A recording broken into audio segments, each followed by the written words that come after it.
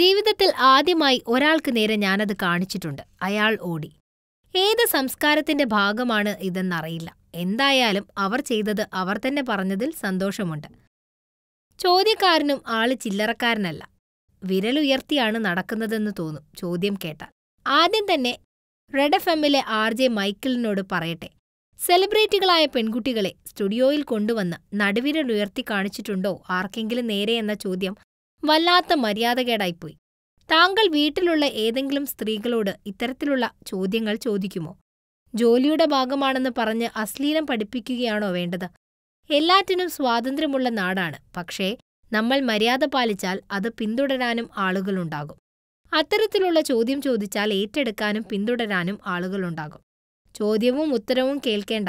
Red F M R J Michael പൃഥ്വിരാജിന്റെ എസ്രയിലൂടെ അരങ്ങേറ്റം കുറിച്ച നടി ആൻ ശീതളിനെ സ്റ്റുഡിയോയിലെ സെലിബ്രിറ്റി ടോക്കിൽ കൊണ്ടുവന്ന ചോദിച്ച ചോദ്യങ്ങളിലൊന്നിങ്ങനെ. ജീവിതത്തിൽ എപ്പോഴെങ്കിലും ആർക്കെങ്കിലും നടുവിരൽ കാണിച്ചിട്ടുണ്ടോ എന്ന്. കേൾക്കേണ്ട താമസം നടി അതാ പറയുന്നു.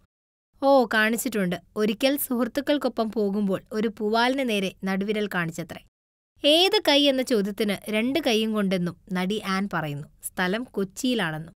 ചോദ്യകർത്താവായ മിസ്റ്റർ മൈക്കിൾ അശ്ലീലം പറഞ്ഞു പഠിപ്പിക്കുന്ന താങ്കൾക്കാകട്ടെ ഒരു കുതിരപ്പവൻ. കുടുംബത്തിലെല്ലാവർക്കും ഇത് പഠിപ്പിക്കുന്നുണ്ടാകുമെന്ന് കരുതുന്നു.